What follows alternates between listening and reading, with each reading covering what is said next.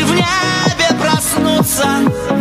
Посмотреть на нас, как мы смотрим на них